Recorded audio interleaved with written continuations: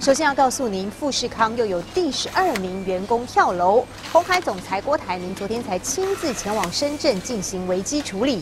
而十二位坐楼个案中，三位有疑似重大精神疾病，八位有明显的情绪障碍，另有一件坐楼事件，它与梦游症相关。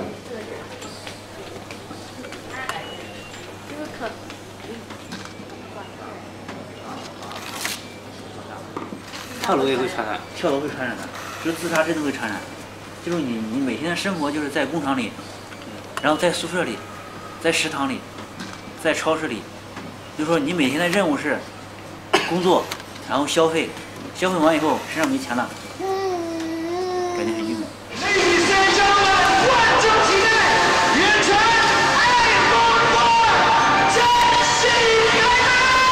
长一百一十五点。七五，单位不能告诉。好，可以。宽，五十八点三五，尺寸不能告诉。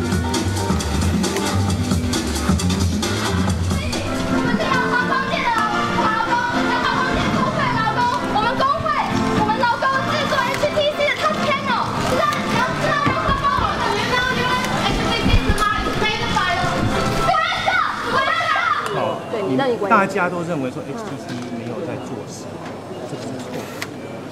一十二点、十点、两点、一点、三点，太变态了。我操！我他妈的要加这么长时间班，我我早闪了。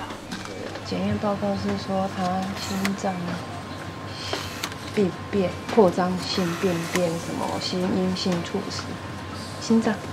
这台机啊，没有做一直老的。终于做好了。这边好。嗯，诶，伊离过前前在做到这台。